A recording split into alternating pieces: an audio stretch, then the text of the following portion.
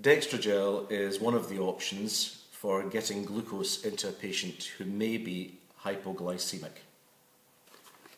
This is simply glucose gel. Twist off the end and squirt it into the sulcus between the teeth and the cheek.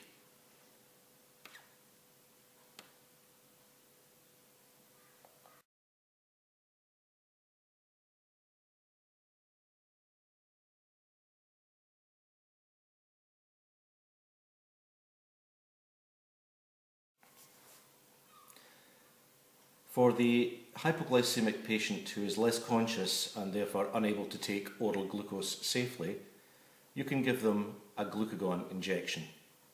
Glucagon will release glucose from the patient's own glucose stores within the body. In order to use this, open the box and one of the easy ways to do it is simply to grab both ends and twist to break the seal. Inside is a syringe containing fluid and a vial containing powder. Remove the caps from the powder and the syringe. Inject the water into the vial, holding both together, sugar together, and as you raise it up, you'll see that there's a little gap in the bung on the vial. If you just simply pull back the needle and withdraw back into the syringe the reconstituted glucagon. Get rid of any air bubbles back into the bottle and it's now ready for injecting. The glucagon should ideally be given intramuscularly.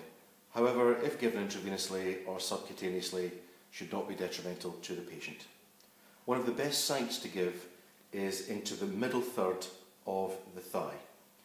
Draw a line up the anterior aspect of the thigh, draw a line up the lateral aspect, and between those two tram lines, identifying the knee and the hip measure to the centre third of the leg. So we have a box approximately there.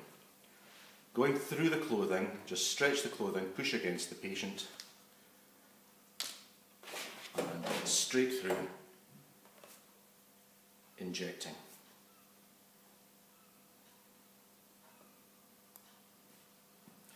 Remember to dispose of your sharps carefully.